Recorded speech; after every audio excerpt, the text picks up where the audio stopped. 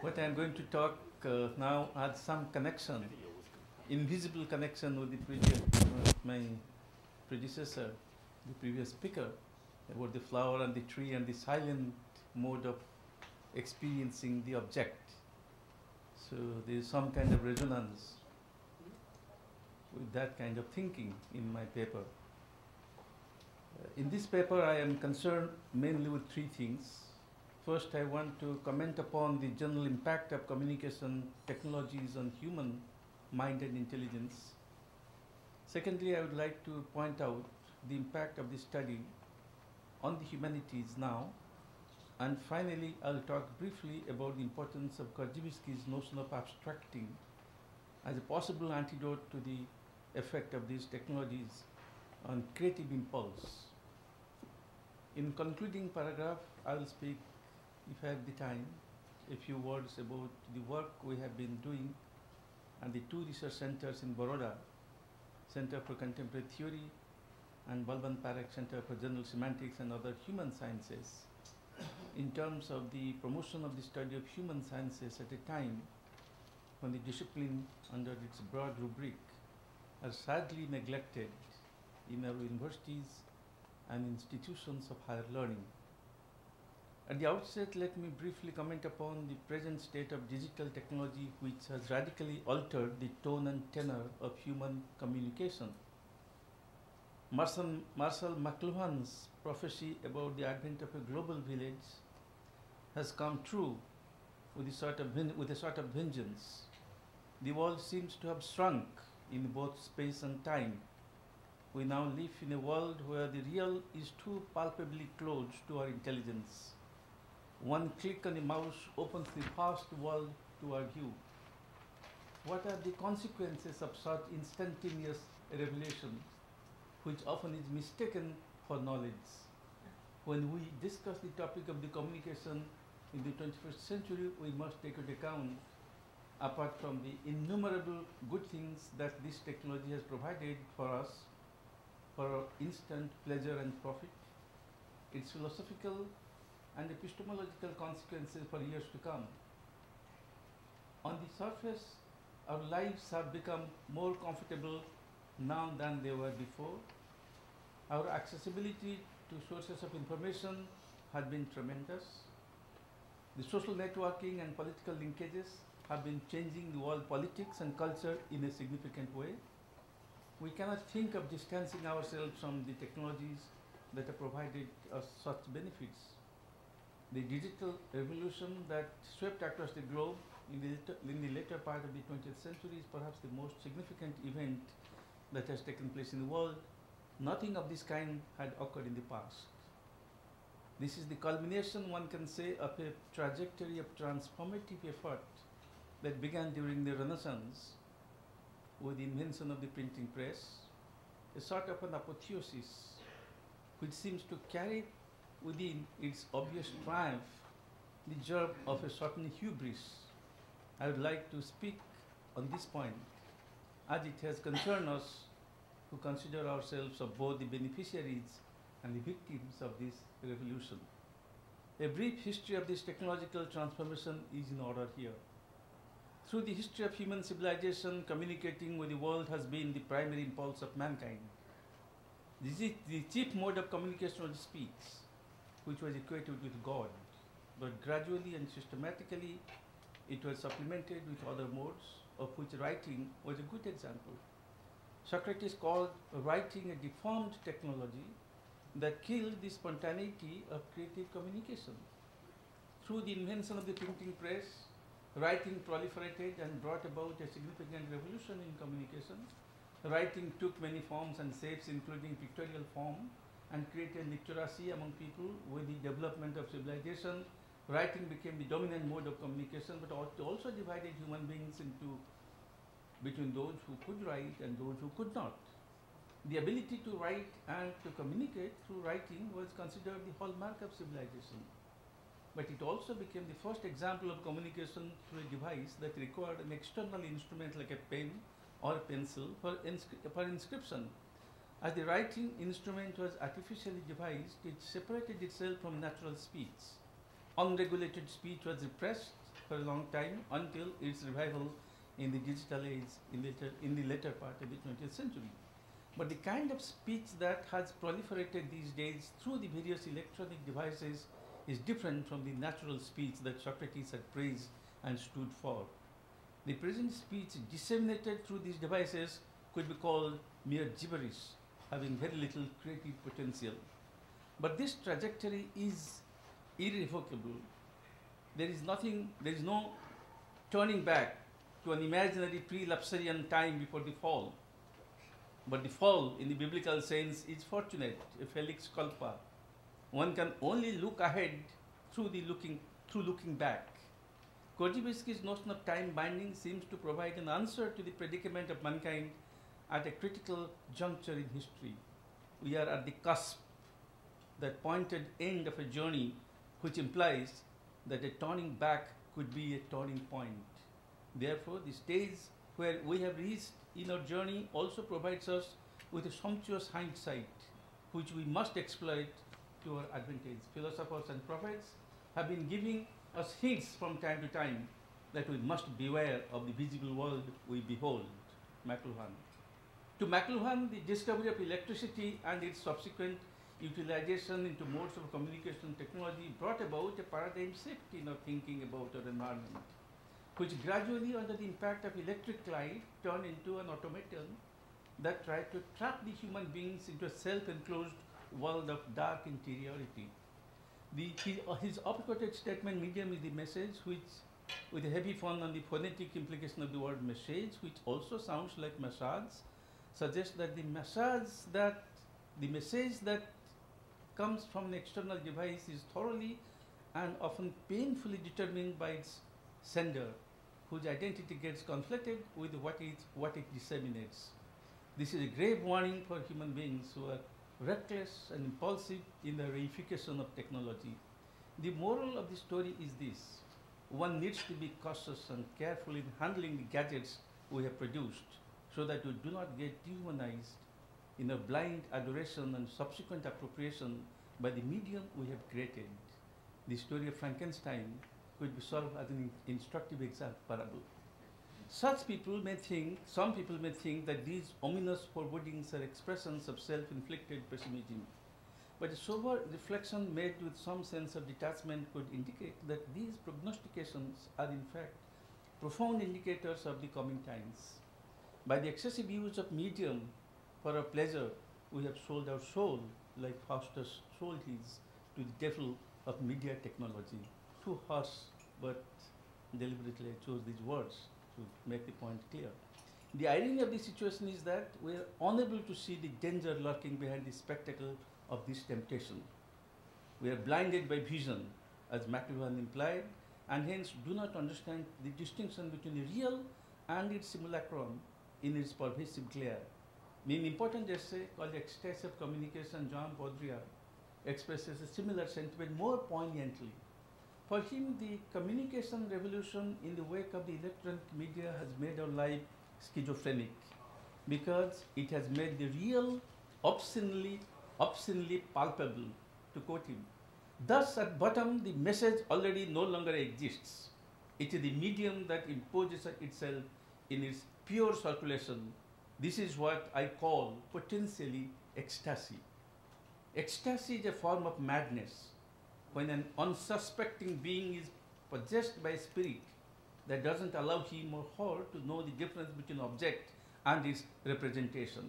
We are now possessed by the specter of digital technology. These are proleptic visions, which from the vantage, proleptic visions made from the vantage point of hindsight. So we are moving forward by going backward. What are some of the effects of this spectral presence of our inner consciousness on our consciousness and thought. We have certainly lost the capacity for cool reflection, for narrative skills to organize or shatter imaginary selves into some form of coherence. Our mind is jumbled with facts called from digital memory, on which we depend more than on our natural biological memory. Even as Viktor Mayer Schoenberger says in his recent book called Delete, The Virtue of Forgetting in a Digital Age, published in 2009, we have lost the capacity for forgetting. He suggests that in order to restore our biological memory to its creative function, we need to delete from our jumbled consciousness the useless information we have acquired from our infatuation with the medium we have inserted into ourselves. He says comprehensive digital remembering collapses history, impairing our judgment and our capacity to act in time. It denies us humans the chance to evolve, develop, and learn, leaving us completely oscillating between two equally troubling questions permanent past and ignorant present. These are the signs of the time we must act against. We are now in a world where the virtual library created with a click on the mouse on a computer screen has replaced the real library. There is no need now to search assiduously for material through a careful reading of a real book. It is available now on command. The pleasure of holding a book and feeling its texture, smell, and weight weight is slowly giving way to a vicarious satisfaction of a job done without much effort. Collective reading culture in a library is fast disappearing, and with that, the whole world of humanistic learning. The ready-made information available electronically has replaced what Nicholas Carr says the slow excavation of knowledge. As Carr says, we are mentally in perpetual locomotion Learning at a slow pace gives us the capacity for reflection, which is the source of creativity. Civilizations have been sustained by this spirit. In practical world of digital, digital technology deployed for immediate material benefits, reading literature and philosophy, which requires us requires lots of time and concentration, has become a low priority for those who crave for excellence, within quote, excellence in result-oriented economy. Even some well-meaning scholars and educators seem to think that a live classroom today is an anachronism. A virtual classroom without teachers and live discussion face-to-face is beginning to replace the old classroom with a blackboard, piece of chalk, and the presence of a teacher before a group of students. This is perhaps the worst scenario confronting us. In a provocative book called Not for Profit, Why Democracy Needs the Humanities, 2010, the philosopher Martha Nussbaum says that if we, if you jettison the old virtues of humanistic learning and replace them with the professional training, our democratic culture will be weakened because democracy needs the humanities and the live discourse it engenders in the classroom for its survival and prevalence. In a new electronic classroom, there is little space for the positive stillness of deep reading and the fuzzy indirection of contemplation, Nicholas Carr says. A system gives a system that gives ready-made knowledge without any serious and painstaking search doesn't offer the benefit of what he calls the fuzzy indirection of contemplation that leads to moments of creative discovery. Carr comments, the great danger we face as we become more intimately involved with our computers is that we begin to lose our humanness to sacrifice the very qualities that separate us from machines. His book is interestingly called Shallows. We have become shallows. Korzybski's notion of abstracting is like deep reading in a pensive stillness of a reading room. As you experience an event, we instantly abstract it through, a, Uh, through, through the innate biological mechanism of a nervous system. In the subsequent stages, the bio this biological abstraction which is pre-verbal, is transformed into the lower abstraction through its association with our verbal mechanism when we begin to perceive the complexity of an event. In this mode of understanding, which is attained through a conscious effort, we come to terms with the world.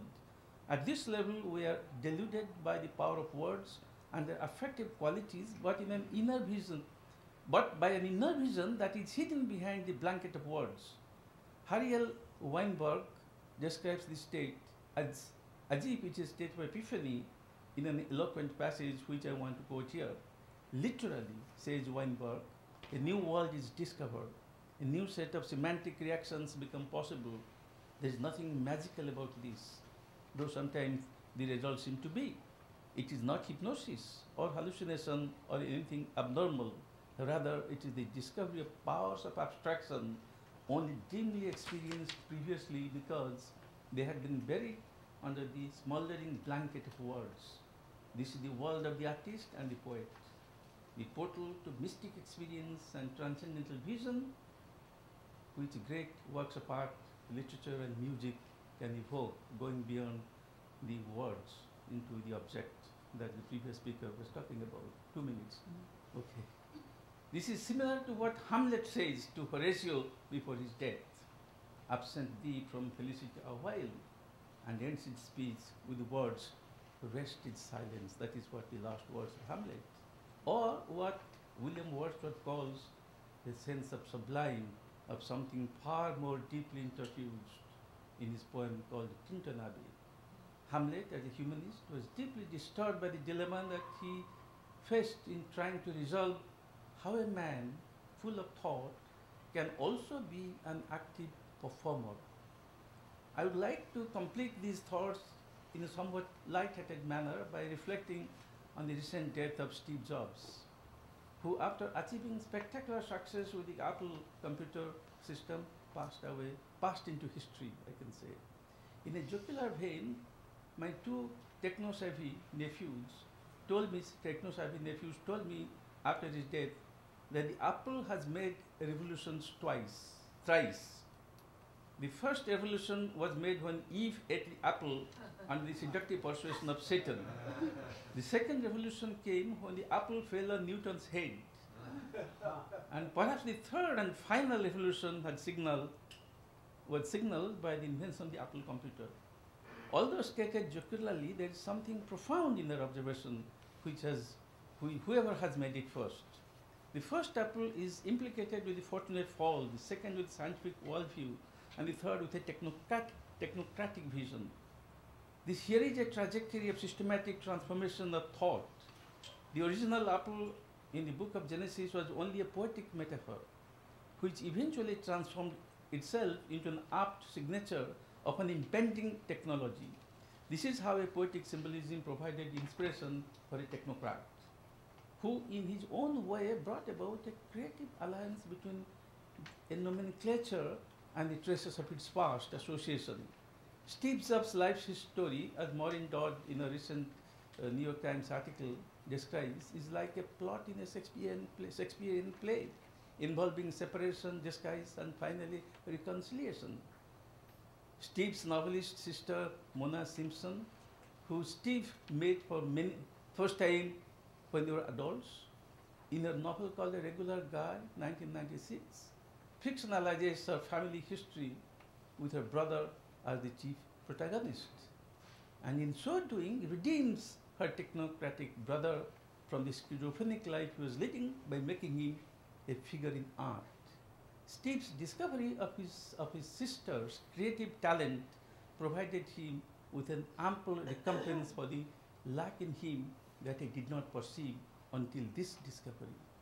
Thus, this reconciliation of hard technology driven mind with someone on the other side of the spectrum is a marvelous example of how a hardcore technocrat who does need the bliss of solitude and the succor of heart for making his life self fulfilling. With this, I stop. I do not want to say something about two centers, which I have already said uh, before. And uh, this is the last point that I wanted to make that technology and humanism, art, can go together. We are not making a case that we must uh, throw away computers and mobile phones and internets and go back to pre-Luxian days when there was everything all right happening in the human civilization. We must deal with them uh, humanistically. And this is the example I chose, that Steve Jobs in the latter part, later part of his life chose, um, discovered Mona, his sister, and in this kind of just fictional encounter between the brother and the sister, after 27 years of you know, discovery, that perhaps redeemed the technology-driven brother through this magic touch of art and humanism. And that is what I want to say. Thank you very much.